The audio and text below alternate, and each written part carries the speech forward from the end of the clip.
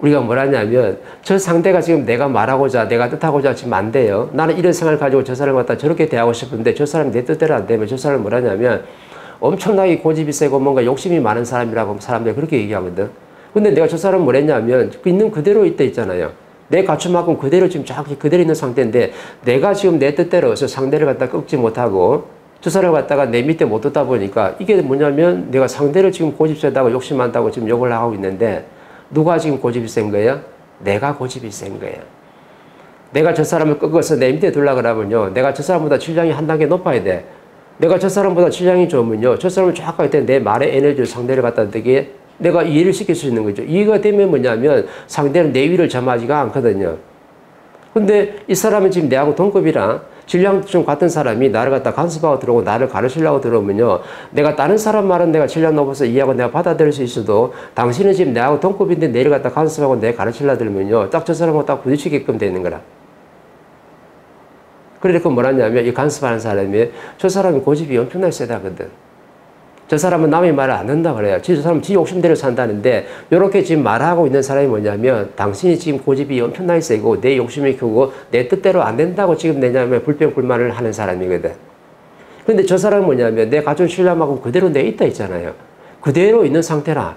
그럼 그대로 있는 상태에서 인정하고 내가 받아, 받아준 게 뭐냐면 상대를 존중하는 거랬잖아요. 이렇게 존중을 하면 되는데 사람들은 그렇게 생각을 안 해요.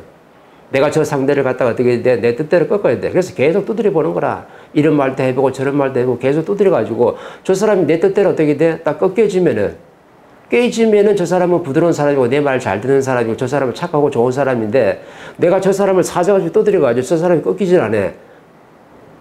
두드려 깰 수가 없어. 왜? 내 전량이 부족하고 내가 동급인데 동급인데 지금 상대를 갖다 두드려 깼어. 내 꺾으려고 그래. 내 발 밑에 두려고 그래. 그럼 상대가 내 뜻을 따라야 안 따라요? 안 따르죠. 왜?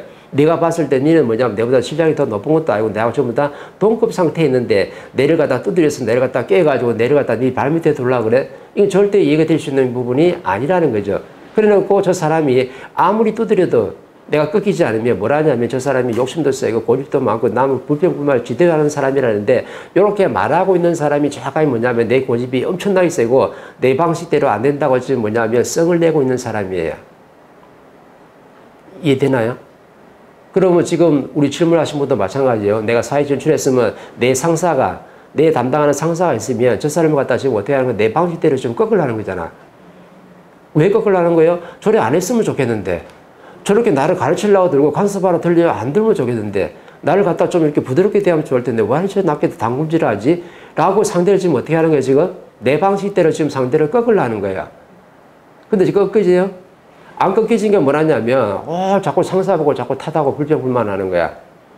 이래 되면 내가 성장을 계속할 수 있을까요? 내 성장 발전이 멈춰져 버려요. 그래서 상대는 지금 그 상태로 그대로 있는 거예요. 그대로 있는데 내가 지금 시간이 지나도 내가 지금 어떻게 머무르고 성장 발전을 못 하다 보니까 저거를 갖다 소화 처리할 수 있는 그 내가 능력이 안 생겼어요. 그 소화 처리 못하는 내를 점검하고 내를 갖다가 좀 반성을 좀 해야 되는 거지. 상대가 자꾸 나를 갖다가 어떻게 내 욕심내고 고집 부리고 지 뜻대로 하려고 자꾸 상대한테 입을 대고 있는데 상대한테 입을 대고 있는 그 사람이 지금 어떤 사람이요? 내가 지금 정확하게 그렇게 하고 있는 사람이에요. 어떻게 하는 사람? 내 방식대로. 상대를 어떻게 돼? 꺾으려는 사람이죠. 꺾어서 저 상사를 갖다 내 밑에 두고 싶은 거야. 근데 나는 사회 활동하는데 내 위에 상사가 있으면 상사가 주신 에너지가 분명히 있거든요. 그럼 이 상사가 주신 에너지를 갖다 내가 정확하게 내 받아가지고 내가 성장 발전을 갖다 주목적으로 삼아야 되는데 나는 지금 뭐 하고 있냐면 저 상사한테 잣대를 탁 대놓고 이렇게 해야 되지 않냐는 잣대를 쫙 대놓고 계속해서 두드려 보면서 나를 갖다 좀 부드럽게 대해주세요. 나를 갖다 좀 존중해 주세요. 나를 함부로 가르치려 하지 마세요. 자꾸 뭐냐면 이 사람은 잣대대면서 두드리고 있는 쪽이에요. 그럼 이 사람이 고집이 세요? 욕심이 많은 사람이에요? 고집 세고 욕심이 엄청나게 많은 사람이에요. 근데 상대는 꺾이느냐? 절대로 안 꺾이죠. 왜? 네가 내를 네 방식대로 내려갔다가 내를 꺾으려 그러면 내보다 실력이 어떻게 돼? 좋아야 돼요.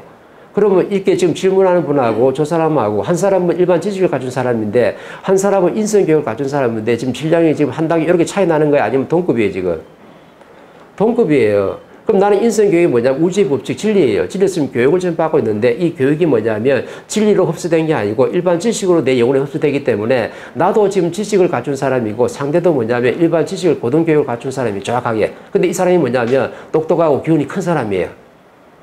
이 사회 활동할 때 간부들이 똑똑하고 교훈이 크기 때문에 전부 다 간부 생활을 할 수 있는 거지. 내가 실력이 약하면 절대 그렇게 못 하거든요. 근데 나는 지금 뭐라 보냐면 나는 인성교육, 이 지금 진료에서 교육을 받은 사람으로 지금 알고 있는 거예요.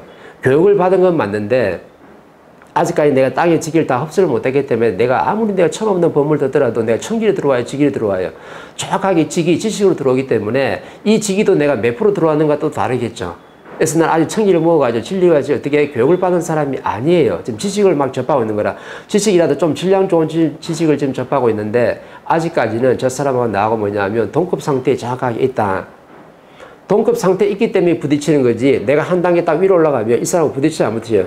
절대 안 부딪혀요. 왜? 밑에서 아래 사람이 하는 거 아무리 네가 상사라도 질량이 내보다 낮기 때문에 네가 말하고 행동하는 것은 내가 위에 딱 있으니까 걸침없이 아직 걸림돌이 안 되고 좀 더 정확하게 어떻게 다 처리할 수 있는 그 힘이 다 만들어지는 거예요.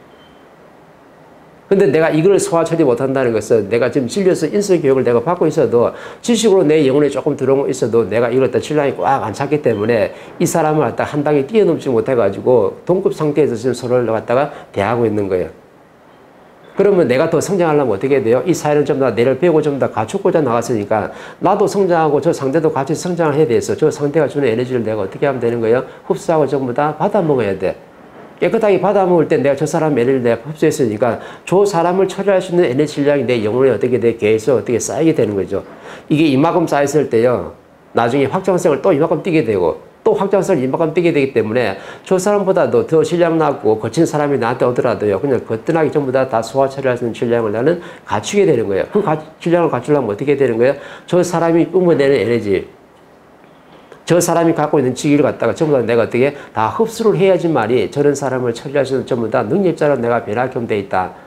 근데 저 에너지를 내가 안 받아먹고 저 상대한테 계속 어떻게 돼? 잣대 내가 두드려 가면서 저 사람이 왜 저럴까?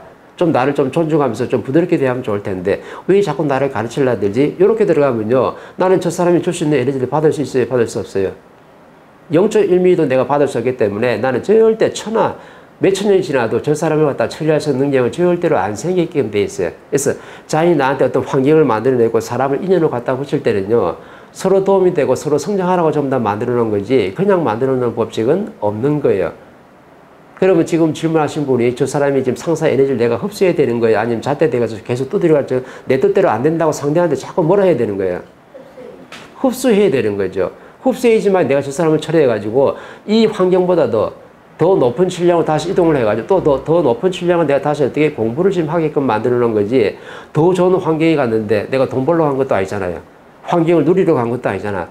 내가 갔을 때 더 좋은 사람이 있으리라는 것도 없잖아요. 어떤 사람이 있는 거예요? 질량이 큰 사람이 있는 거예요. 이 질량이 큰 사람이 뭐냐면 기운이 아주 크고 신이 엄청나게 똑똑하다. 이 똑똑한 사람이 내 위에 상관해서 나를 갖다 딱 공부를 딱 시켜주는데 저 사람이 주는 에너지를 갖다 내가 받아서 흡수를 못 시키면요. 난 사회에서 활동할 때 엄청나게 어려워지고 저 단계를 절대 뛰어넘을 수가 없는 거예요. 그럼 내가 아무리 이동하더라도 옆으로 이동해가지고 저런 사람을 만나가지고 계속해서 뭐냐면 저 지기를 흡수하는 공부를 계속해서 해야 되는 거예요. 이게 문제는 뭐다? 내 생각으로 들어와야 돼요. 매를 점검해야 되는 거지 상대한테 어떻게 돼 자꾸 잣대대고 두드리면요 이건 영원히 풀릴 수 있는 게 아니라 그래서 내가 뭘 했냐면 이 우주에는 상대성의 원리라는 게 분명히 있기 때문에 상대는 스스로 가만히 있는 거예요. 누가 지금 질량이 모자라는 거예요? 내가 지금 질량이 모자라기 때문에 내가 자꾸 내 방식대로 안 된다고 내가 자꾸 성나는 거지 상대는 상대의 갖춘 질량을 갖고 정확하게 그대로 있는 거지 있는 그대로 있는 사람을 갖다 내가 자꾸 돼? 두드려가지고 안 두드리면 저 사람이 성질이 나쁜 사람인가요? 내가 잣대 안 되면 저 사람이 성질이 뭐가 난 사람이에요? 내가 잣대를 안 되면 저 사람이 뭐냐면 나를 간섭하고 가르치려고 하는 사람이 아니라는 거죠. 왜? 나는 저걸 갖다 내가 좀 더 내 영혼이 성장하는데 전부 다 에너지를 좀더 흡수하는 걸 전부 다 내가 바뀌기 때문에 나한테는 성장하는데 엄청나게 도움이 되는데 모든 사람들이 뭐냐면 어떤 환경이 만들어질 때는 내를 점검하고 내 생각을 하는 게 아니고 항상 뭐냐면 상대한테 돌아가요. 네가 그랬기 때문에 내가 지금 이런 거 아니가 이런 식으로. 근데 상대는 내가 뭘 했어요? 그대로 있다. 내 질량만큼 정확히 그대로 있는 거지. 그걸 갖다 누가 지금 두드리는 거예요? 내가 두드리면서 저 사람이 내 말 안 듣고 고집이 세고 저 사람이 욕심이 엄청나게 뭐 어떻고 저 사람이 사회 불평불만한다고 자꾸 잣대를 대는데 내가 두드려서 지금 그렇게 만들어지는 거지 저 사람은 내 갖춘만큼 그대로 딱 멈춰 있는 거예요. 그대로 있는 거예요. 내가 저 사람을 안 두드리면요. 저 사람이 뭐냐면 엄청나게 좋은 사람이나 근데 내가 자꾸 내 방식대로 어떻게 끌고 가려고 내 밑에 들라고 내 발 아래 들라고 자꾸 저 사람을 두드리다 보니까 두드리면 꺾게 되는데 꺾이지 않으니까 뭐라냐면 저 사람이 나쁜 놈이라고 이렇게 잣대를 정확하게 갖다 대거든. 그래서 모든 환경을 소화 처리 못할 때는 내가 멈춰졌다는 것 같다 이 생각을 먼저 해야 되는데 항상 우리는 뭐냐면 상대를 탓하고 불평불만을 하게끔 돼 있어요. 근데 나한테 도움이 안 되는 사람을 자연히 보낸 사람이 한 사람도 없다는 거죠. 네가 잘못 처리해가지고 사람을 바르게 대하지 못하다 보니까 이것 때문에 문제가 되는 거지. 그래서 두 사람이 만날 때 뭐라고 만난 거야? 같이 배우고 성장했어.